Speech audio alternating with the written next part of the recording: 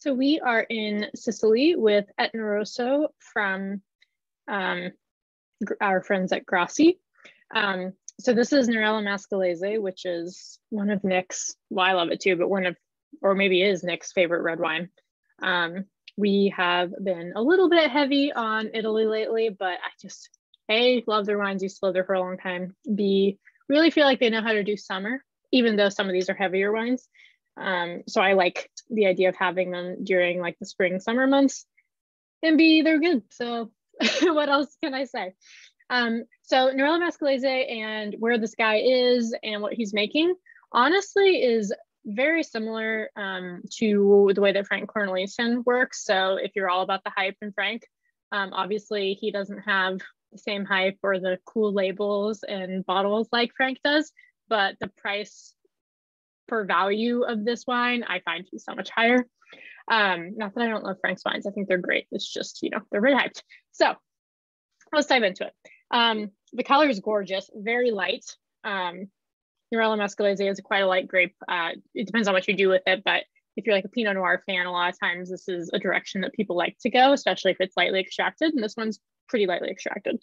Um, so on the nose, it's just so light and delicate. It's um like floral.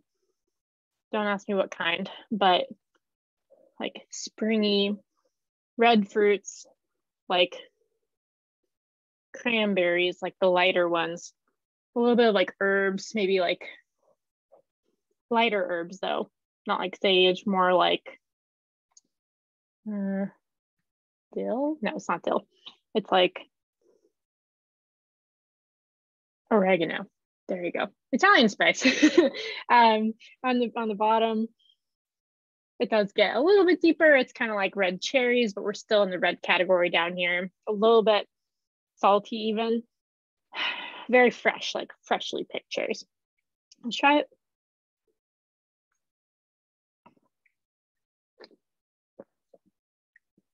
Mm. Lovely. So it's actually more, I would say, earthy on the palate than like I got tons of fruit um, on the nose. I guess I also got herbs and stuff, but like it's almost like a little bit more like forest flory on the palate, a little bit more like mushroomy. The um, fruits are still there. I would say I lost a bit of like the uh, uh, like the herbs that I was talking about earlier in some of that fruit.